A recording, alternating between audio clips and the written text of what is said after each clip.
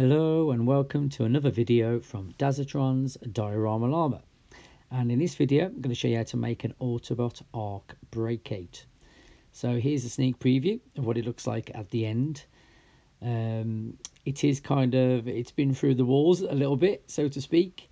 So um, it's kind of got battle damage on there and yeah, I'll talk you through that in a moment.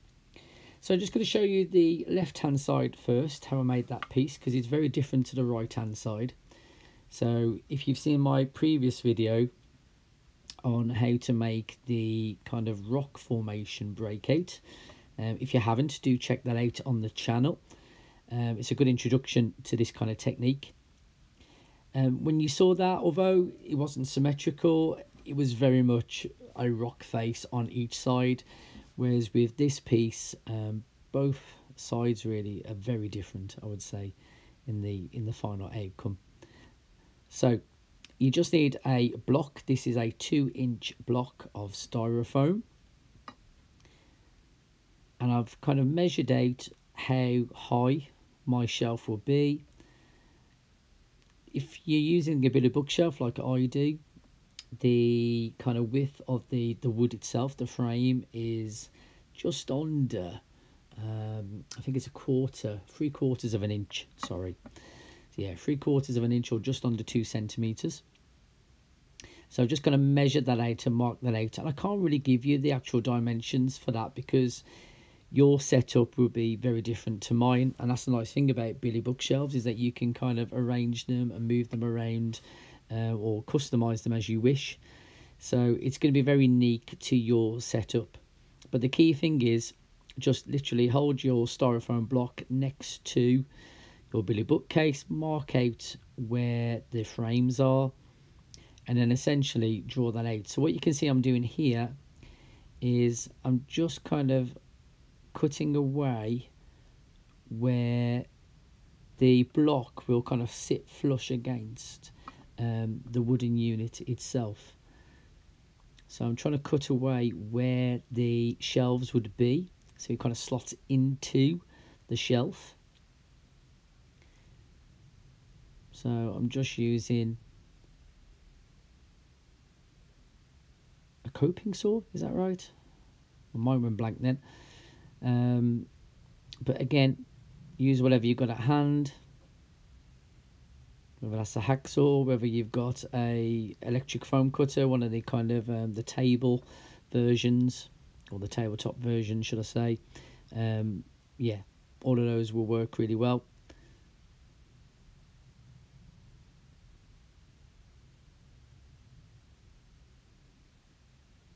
So again, I'm just cutting away where I want that indent to be. Now, if you watched the, again, the rock formation breakage, you'd see it was like an L shape. Whereas with this one, it's a C shape because it's going to sit flush um, not only on the bottom part of the shelf, but the top of the shelf as well. Yeah, just a quick tip here. Just keep these um, kind of offcuts, any kind of bits of styrofoam that you get, just keep them in a little pot because they will come in. Um, if you've watched my Thunder Tank um, diorama, you'll see where I used those bits to kind of create a, a nice texture for the base. So it is worth keeping all your little bits. I keep all of my offcuts for styrofoam because they always come in. So even these bits that I'm coming off, cutting off now, um, just keep them. Keep them in a bag somewhere and I guarantee you, you'll use them at some point. So what I'm doing here is I've marked out my kind of shape, my design and I've just taken this from the movie itself. I've literally kind of just photographed some stills from the 1986 Transformers the movie. And I'm just looking at those kind of designs, those kind of that background art um, to get an idea of the shapes that you see um, on the Autobot Ark itself. So that's why I've chosen this kind of design. And you can, again, you can come up with your own version. Um, and that's why I created two different designs really so you can kind of see you know the variety that you can get from that there's, there's so much more you could do just have a look at the background art I mean it's stunning background art in the 86 movie yeah just freeze frame your video I'm sure you've all got it um, and yeah, take some photographs, which is what I did, and I used that there as my reference. I'm sure you could Google it as well. So you can see even here the the piece of styrofoam fits flush even against my um, my work surface there in the kitchen. So I'm just using a file just to kind of smooth that down and just to kind of make those edges nice and neat so they kind of look like you know they have been kind of manufactured or you know it's beaten metal. I don't want it to be kind of organic looking. As you did with the rock formation it needs to look um, yeah a lot more kind of I suppose as if it's been kind of yeah cut by a robot if you like. So I'm using a large file here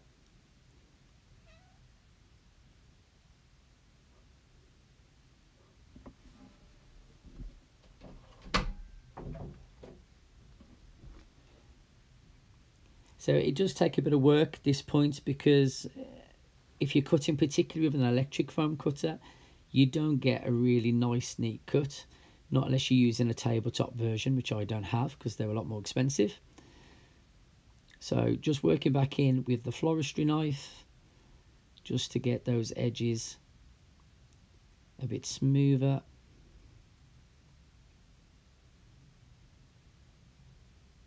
And the larger file here just kind of just makes that job a lot quicker.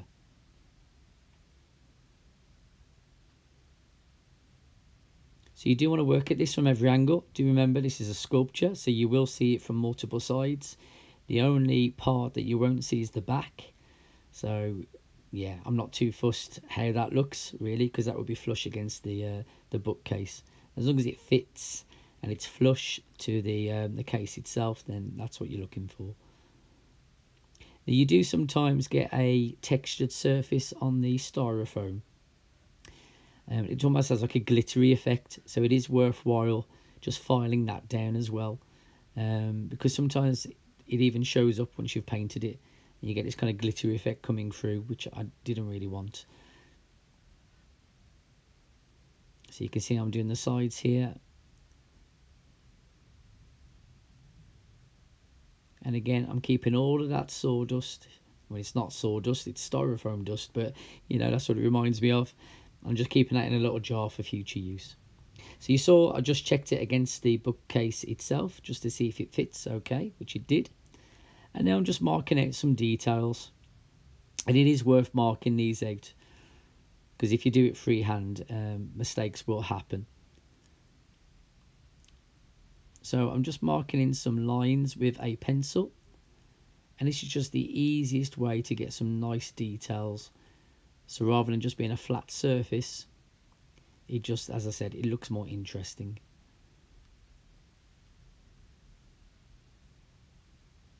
So even a blunt pencil works nice with this. Obviously you don't want to press too hard, but enough to make an indent. And you can see that better there. And I'm going to do the same on the other two parts. So here I'm just looking for my reference just to get some ideas of what I could do on the sides.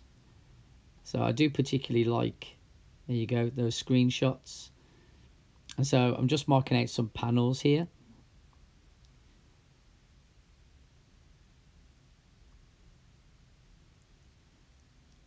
Then when I'm going over this with the pencil, I'm not going ev over every pen line that I've made. So you can see those kind of corners there. I want to leave those corners as they are. I'm just cutting the triangles out in this case.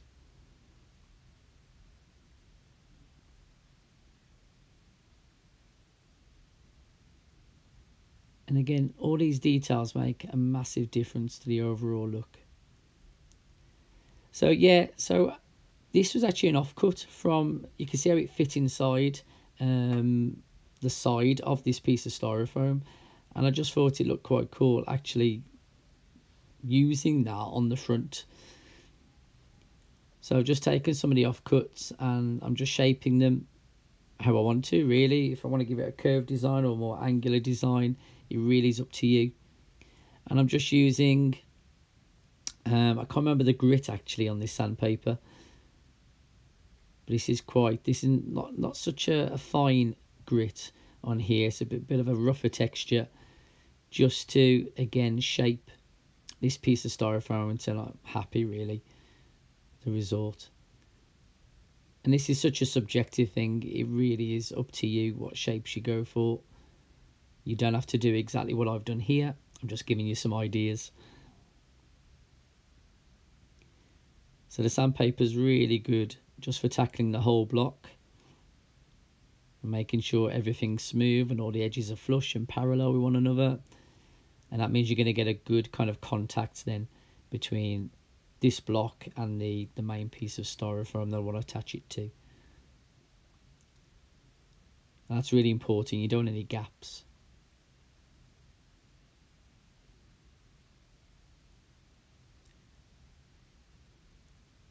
Now I find with the Autobot Ark you do get some nice kind of angular surfaces, but you also get these kind of nice smooth, uh, kind of curved surfaces as well. So it's kind of getting a mixture between the two, which I quite like. So I'm just working on the bottom piece now in exactly the same way. Started off with a foil and then using the sandpaper just to get the shape that I want. And again, this isn't a new piece of styrofoam, this was an offcut from the original piece. So you're not wasting anything. And he does, in the end, he does work out much cheaper than buying a diorama or buying these kind of background kits um, online. And it makes it unique to you and to your display. And that's really the purpose of these videos, is to give you ideas of how to make a unique display. So I'm quite liking those shapes. Yeah, and if you want to add any kind of circular elements, it's really good just to actually um, push into the surface. Now I'm using the top here off um, Frylight. So it's what you use in cooking. So it's quite a small lid. So I'm using that just to kind of press into the styrofoam.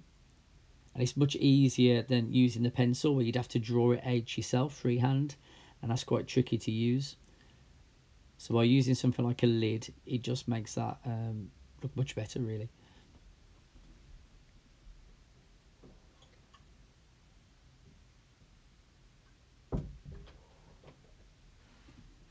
So I'm just doing the same on the other sides, trying to get in about the same place.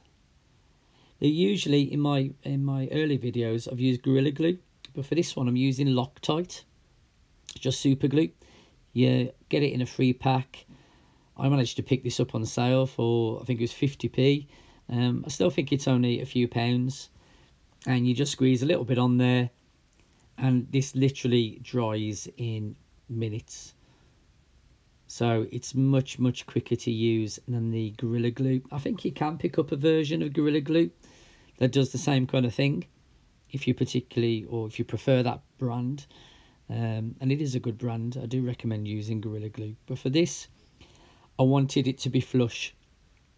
Um, sometimes with the Gorilla Glue that I use, it expands. It's kind of a, a foam, um, and it doesn't always um, give you such a neat finish. It's great for things like rocks and more organic surfaces, but with this, I wanted it to be really flush. So um, the Loctite for me works better. So you can see here I've continued to add those details and the more detail you can add the better. Um, it just gives it more of that kind of, well, it makes it kind of look futuristic. Um, it gives it more kind of, I suppose, a technologically advanced kind of feel to it. I don't know if that would be the right way of describing it, but, but you get what I mean. It looks like it's made out of different panels so I'm using a small file here, just a flat ended file, just to kind of create an indent in some of the details. And here I'm using the rod tool on the electric foam cutter. So you get a couple of these with the foam cutter that I purchased and the rod itself heats up. So obviously be careful with it, don't touch it. And it, it melts the styrofoam really quickly and it's great for adding this kind of battle damage. All I would say is be very careful. Be very light-handed when you're using it. Um, but you can just get these kind of scuff marks as if you've kind of got, you know, lasers and gunshots going off. And yeah, I think it just really adds to the overall effect. Do make sure, yeah, the um, the rod itself is cool before you put it on your surface, otherwise it will melt your surface. So again, I'm using some small thin offcuts here just to make it look like the kind of the metal has been kind of peeled away. Again, when you watch the 1986 Transformers the movie, you'll see moments where, yeah, it looks like the metal has been kind of pulled apart as the Decepticons have been attacking the Autobot Ark. So um, I'm just trying to create that feel. This is meant to look like it's been blasted. My daughter said it looked like the um, creature from Stranger Things. She kind of does, really. Yeah, the Demogorgon. That's it, isn't it? So, yeah, so I've added those extra features, and now we've come to the part where we need to paint um, the styrofoam itself. So I'm using gold there, so that's the more kind of shiny version. That one it's open there's the yellow ochre, which it has a golden look to it. It's more of a golden brown, but it's not a metallic finish. And then you've got the reddish brown, which is the burnt sienna. But I'm going to start with just black acrylic. And I'm just using a large brush and I'm just pushing the black acrylic into all of those details. So a larger brush or a smaller brush will do. Again, whatever you've got at home, at hand. And I'm just pushing that into those indents that I made with the pencil or with the file. And even the kind of the yeah the the battle worn areas. As you know, when I'm painting the, the rock formations, I usually paint the whole thing black. But because this is a lighter colour, I don't want to um, I don't want to make it too dark. So by just painting into those indents, it just means they're going to kind of stand out when I start to paint the lighter areas on top a bit later on.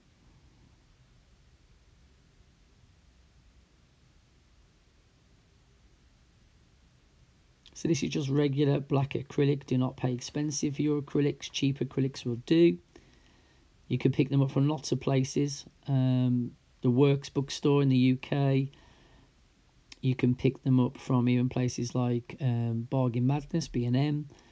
You can pick them up from Home Bargains sometimes. Even in Poundland, have a look around. You can pick up cheap acrylics. You can go to places like Hobbycraft and Arrange, but you will pay a little bit more expensive for them. It just depends what you want. So I'm using the burnt sienna and I'm using a larger brush now on top. And what I'm trying to do is keep the flat end of the brush against the surface of the styrofoam. So I'm just rubbing it across the top because I don't want to get inside those grooves. I want to keep the grooves as dark as I can. So I'm just trying to pull it along the top. So this bit takes a while. Sometimes it's worth actually adding a little bit of water to the acrylic depending on how thick the acrylic is. If you buy acrylic in tubes, it does tend to come out a little bit thicker. If you're using kind of hobby paint acrylic, so what you would use for kind of Warhammer figures, then it tends to be a much thinner consistency already because it's it's kind of made that way for miniatures where you wanted to get it into all those details because I'm painting larger flat areas I tend to find um, the thicker acrylic works better. I would say don't use your Warhammer acrylics on this because you'll waste them and they're very expensive. So do keep things like that for miniatures. So I've got a, a reasonable covering on here. Don't forget, this isn't the final colour. This is just the undercoat. So I've just moved to a smaller brush just to kind of make some of those areas a bit stronger in colour because as I've moved over the black areas sometimes it's mixed with the black and it's created a darker finish so I'm just going back over some of the places with the burnt sienna just to make that colour a little bit redder now you'll know with the Ark it does have this kind of almost copper finish kind of a reddish um, or kind of golden colour so I'm moving now on to mixing a bit of the burnt sienna, so the red that I've just used, with the metallic gold. And what that does, it creates a, lighter finish, but it also gives it um, a bit of a metallic kind of finish to it. And I think that really works. It really makes it kind of pop, especially when you've got a light source on there. So this is the second piece. So again, you can see I've already cut that kind of C shape.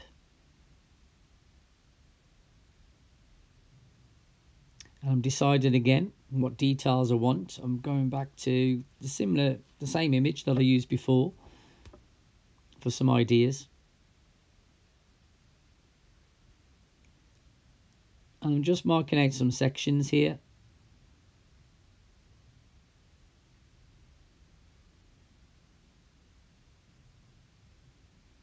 So I'm using the electric foam cutter here. So you can see this is the wire tool. And I just want to create um, a more tapered edge to it. You could use the saw blade for this, no problem. So I've kind of marked off the angle that I want on this edge and I've used the electric foam cutter to cut that and I'm just using now a file just to get that nice and neat and kind of smooth it all down and get the the angle that I want. By having the two guidelines there it really helps. So it is always a good idea to use something like a sharpie pen just to mark out your features. And it just gives you something to work from. And I just think that looks better than the kind of, you know, the um, the right angle that it was before.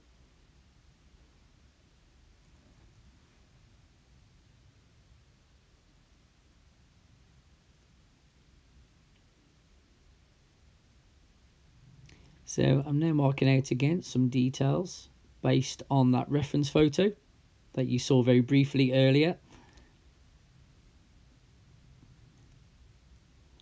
and I'm using the small files. Again, you could pick up these files from any kind of DIY store. You don't have to pay expensive for them. These cost a few pounds for a set of about five or six of these mini files. And they've been so useful with my makes. You'll, you'll have seen me use them many, many times. So you can see the bits here where I've added the lines in. Those are the areas that I want to cut away. So I'm just using that small file just to cut into and make an indent into the surface. And I'm just marking out how deep I want that indent to go. And again, it's a good idea to do that so you know when to stop. And it just means you get a much more professional looking finish really. So I'm also using it to smooth out the sides as well to kind of create those kind of angles.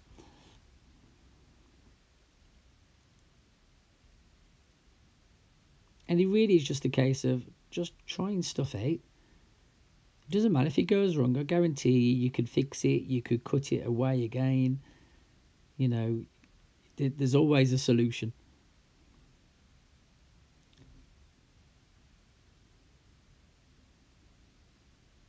So yeah, I'm just starting to make an indent on the edge. You will find it starts to pull away the styrofoam in clumps. If you press quite heavy with a file, it tends to do that. So you have to be quite careful. Sometimes you have to press quite hard at first just to get um, the depth that you want. and then you have to press much lighter to smooth it out. And again, you'll get a feel for that as you start to use the uh, the tools and the equipment.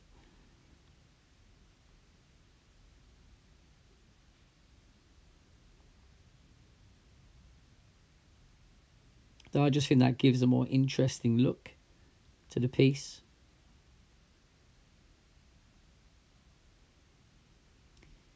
Now these things here, these are actually from um, the COVID tests. So the lateral flow tests, these are the little pots that you put the solution in.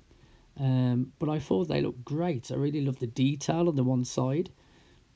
So I've just kind of kept a few of those and I thought I'd use those within this make. So it is a good idea just to kind of, yeah, keep hold of things, keep hold of kind of caps and bottle lids and stuff if they've got an interesting shape to them. So if you've got any of these COVID tests, they're, they're really cool for that. So I'm just kind of measuring out where the hole will be. So I want these to kind of push right into the styrofoam. So because it'd be difficult to use a saw for this, um, or even a craft knife because it's quite a deep cut. I'm using the rod tool on the electric foam cutter again. Now, do be careful that you don't go right up to your edge. So when you've measured out your kind of shape, just leave an edge. Go on the inside of the shape that you've measured or drawn out because you do find that the um, it spreads so the way, way it melts the styrofoam it spreads out. So if you did it right on the edge you would not get a neat edge to that. So I'm just using a again a file just to make those those shapes a bit more square. Because you don't get a neat cut with the rod tool but they do push in really easily because the styrofoam is quite soft. And again, I just think that creates a bit of interest to the piece that you might not have those. I appreciate that. But see what else you can find. So you can see I've got yeah, the two sides in place there. And exactly the same technique as we did before. I'm using the black acrylic paint to get into those details. Now I'm using um, a rigger brush here. So this is a very long bristled brush just to get into those kind of deep areas. And you do find with the plastic, the acrylic can easily scratch off. Generally, you tend to sand down plastic before um, using acrylic on the top of it. But I haven't in this case because it's not going to get, um, it's just going to be on display. So it shouldn't really get scratched all that much. So I'm using the burnt sienna again just to give it an undercoat and the big brush. And you can also see I've used the rod tool again to create some battle damage. So it kind of matches nicely with the, the other side.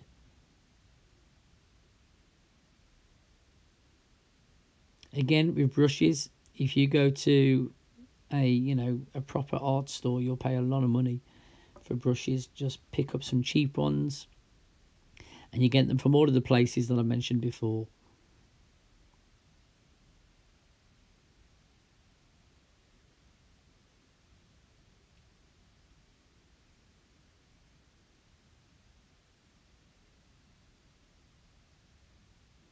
You can see I've added details on all the sides as well.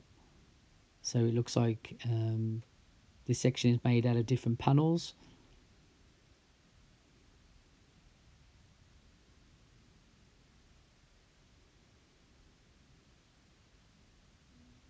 The great thing about the setup for this, if this is the first video you've seen, it doesn't cost a lot of money to get set up to buy yourself some acrylics, some brushes, some styrofoam, and even a cutter. You know, you'll be talking less than £50 for all of that, and you can use it again and again and again.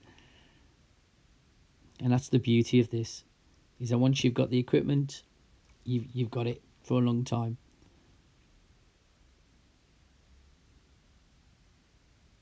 So again, like before, I'm just adding some more of the burnt sienna just to make that colour a bit stronger in places where it's mixed with the black.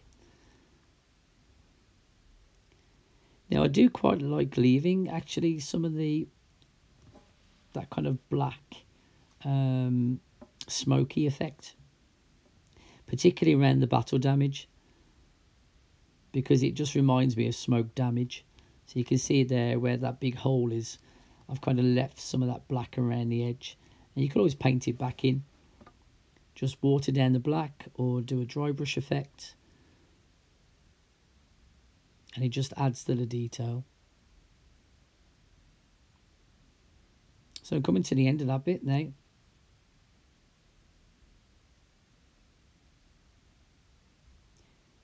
Do make sure you do all the parts that can be seen.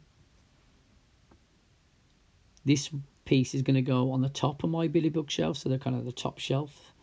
Um, so I am going to see the bottom from below. So it depends where yeah the position of your bookcases are.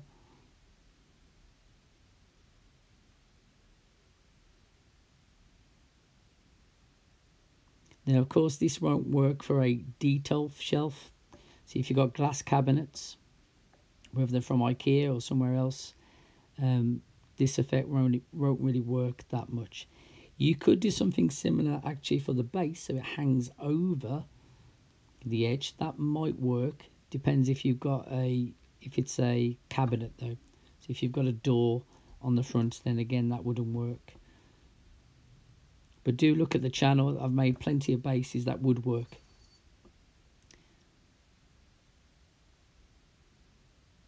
So again, I'm using the gold mixed with the burnt sienna. And it just tones down the yellow of the gold and just makes it a little bit more orange. And I think that works better for the Autobot City. Now, do actually finish both of these pieces with um, a metallic kind of copper paint. You don't have to do that. Um, I just found it toned it down a little bit more and just made it a little bit more orange. So it depends on the finish that you want. You could just add more burnt sienna to the gold metallic paint um, and get it to the um, the shade or the tone that you you desire. So yeah, where the some of the gold paint might have gone inside, some of the details I've just taken that rigger brush or as fine a brush as you've got and I've just added a little bit more of a watered down black acrylic inside those kind of those cracks and those details and I'm just adding more of the smoke effect on there just to finish that off just kind of dabbing that in with my fingers as well and a good way to kind of finish some of those details is to use a bit of silver so I've painted those little plastic kind of features with silver. I've also painted inside some of the battle damaged areas.